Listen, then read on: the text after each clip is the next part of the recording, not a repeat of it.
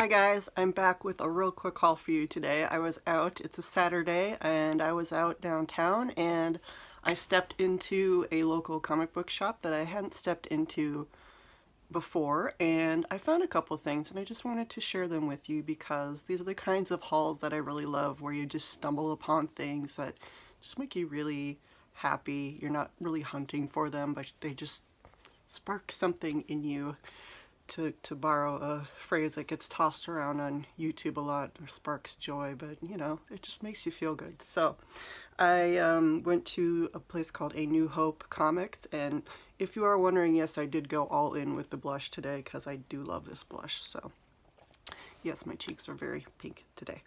I like it. Uh, but I was looking around there and it's, you know, a very small shop. It's got its comics and it's got its uh, vintage toys and tons of Star Wars stuff. So of course I was looking around and I spotted this little guy. The original Hammerhead from the, I don't know, third, fourth wave of Star Wars. As you can see, his box is not mint. Uh, this are These are some like Amazon return stickers. You can see on the back it's got all of this stuff and it is a bit dented on the bottom and dented around the sides.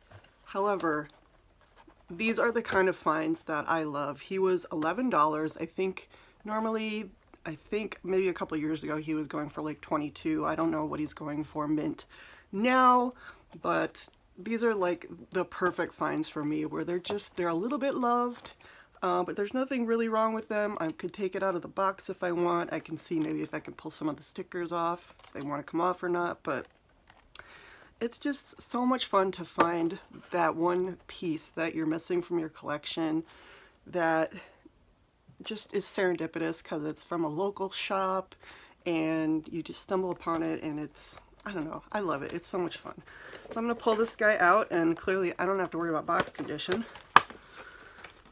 And this is from 2014.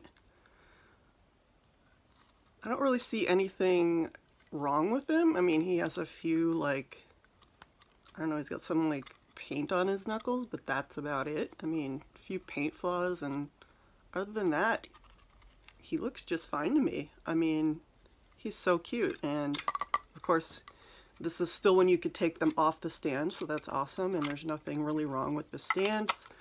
Perfect original stand. I think he's really cute.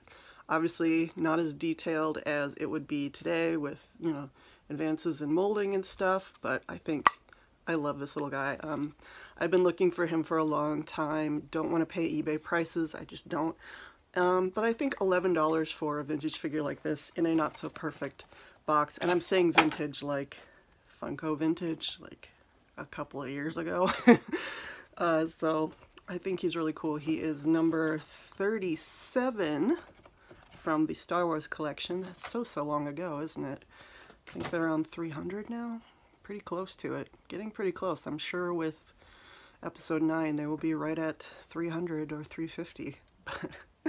so this guy is just making my day. He's so amazing and I'm so happy to have found him just on a whim. So cute. And uh, also when I was there I happened upon this, which is another, this is actual vintage find, and it is this 500 piece jigsaw puzzle. And you can see it's the ceremony at the end with Luke and Han and Chewie and Leia and R2-D2 and C-3PO. And it's a very odd still from the movie because Luke and Han are just kind of looking off like, like, I don't even know. They're just, they look a little bit distracted.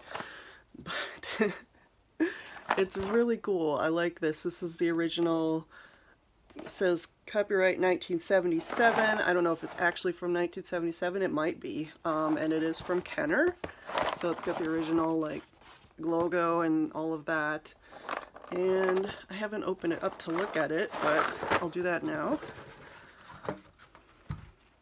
And so you've got, hopefully all the pieces are there, but if they're not, like, it may never have been put together because some of the pieces are actually still, like, like not quite die cut. So that's cool. So I will put that together eventually, but I love these old puzzles. And it actually has the old sticker from wherever it was from. Kmart.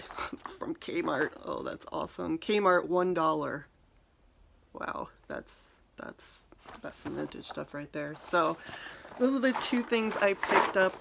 I got the hammerhead and I got the jigsaw puzzle. I'm super excited about that and I just wanted to share with you.